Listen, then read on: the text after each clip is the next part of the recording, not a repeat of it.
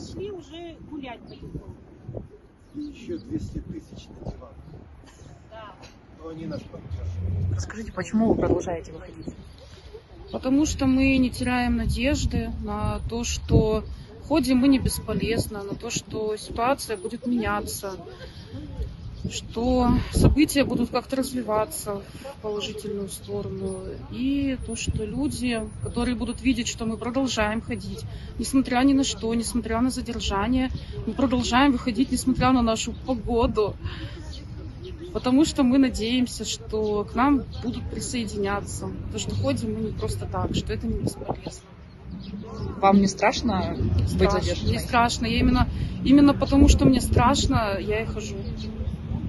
Здравствуйте, опять недобрый вечер. У нас еще одного человека арестовали. Вот в свое время было дело врачей. Это сталинские репрессии. А у нас банное дело. То есть Дегтярев обиделся, что его протащили голой задницей по асфальту вокруг автобусной остановки, еще и в четыре круга. И вот он сейчас всех подряд до последнего будут арестовывать, штрафовать. Ну вот еще одну женщину арестовали. Как прошло вчерашнее заседание у Сергея Ивановича? Ну, вчерашнее заседание, это в Центральном районном суде, это уже третье заседание на одну и ту же тему, а тема, значит, продление ареста на имущество всяких э, физических и юридических лиц, которое, значит, 9 октября вот заканчивается, поэтому вот следствие прямо настаивает на том, но вчера было заседание, и, значит, Сергей Иванович, ну, говорил о том, что первый арест имущества был произошел 30 декабря 2020 года. Тогда было много всего арестовано, и в том числе 25% акций Стародубовой, акций завода Амурсталь, ну или Гакаторов.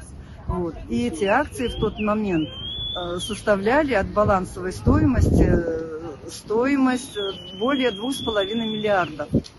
То есть э- этими вот акциями можно было покрыть, даже если они есть эти долги, которые там приписывают, да, 2,6 миллиарда, это все покрывалось было стоимостью этих акций. В результате потом каким-то образом в 2022 году, ну не каким-то, а таким чудесным образом, эти акции превратились в одну там какую-то десятитысячную процента от э, балансовой стоимости, что составляло в рублях 2500 рублей. И на вопрос, значит, Сергея Ивановича, как так получилось, значит, следователь ответил, что, ну, там было увеличение уставного капитала, там было еще чего-то, все законно, все это, и вот таким образом эта доля превратилась в ничто. Ну, то есть Бальский таким хитрым, так сказать, образом, получается, стал единственным владельцем этого завода. Вот.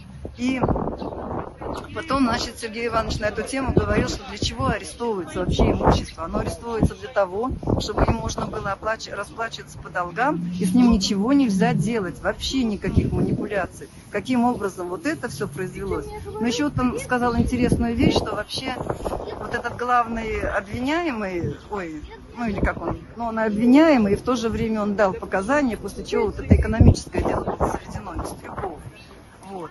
Он э, вообще оказалось, что досудебное соглашение, которое с ним заключено было вот на эту тему экономики, оно заключено с ошибками, оно чуть ли не подлежит отмене. И даже уже адвокат Ульянов, вот этого Мистрюкова, его уже лишили статуса адвоката вот за то, что он вот это все неправильно сделал и фактически выступал не на стороне ну, своего подзащитного, на стороне следствия. Поэтому, как бы Сергей Иванович говорит, что скоро вообще это все дело будет наверняка пересматриваться и как бы не поменяться местами вот с теми, кто это все совершает. Вот такие вот интересные нюансы были. Ну, в общем, короче, эти дебаты продолжались долго. И в конце концов, значит, судья сказала, что она выходит в совещательную комнату на два часа, а времени было полдевятого вечера. Поэтому, типа, хотите ждите, хотите нет. Поэтому решение мы пока не знаем. Какое она вынесла решение? Но было три варианта. Или продлить дальше заседание, продолжать, или отменить арест, или удовлетворить арест. Но как бы мы думаем, что нетрудно догадаться, что будет вынесено.